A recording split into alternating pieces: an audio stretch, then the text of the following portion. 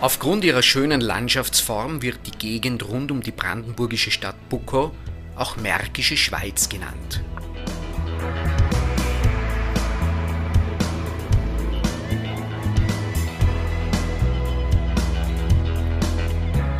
Sanft erheben sich die Hügelketten aus den klaren Gewässern und laden die Gäste zum Erkunden der Natur ein.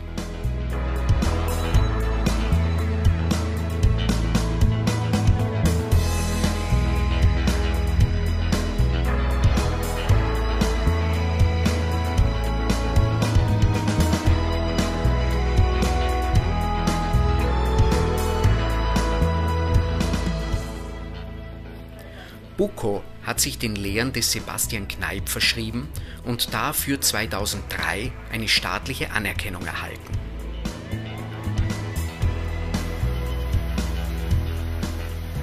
Es gibt dort aber auch nette Restaurants, die Kneips Lehren nicht so dogmatisch streng auslegen. Das kulturelle und touristische Highlight Bucos ist aber die nunmehrige Museumsvilla von Bertolt Brecht und Helene Weigel, alleine deretwegen sich schon der Besuch der Stadt lohnt.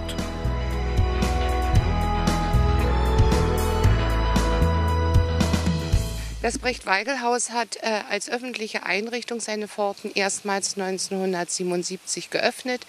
Es liegt direkt am Ufer des Scharmützelsees und es kommen also viele Besucher aus dem In- und Ausland jedes Jahr, um unsere Städte zu besichtigen.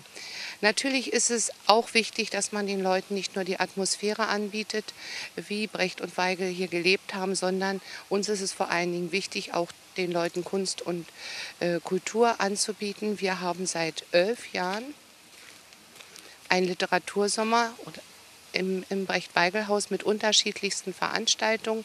Die finden zum Teil im Garten statt bei schönem Wetter oder in unserer Wohnhalle, die auch äh, eine sehr gute Akustik hat.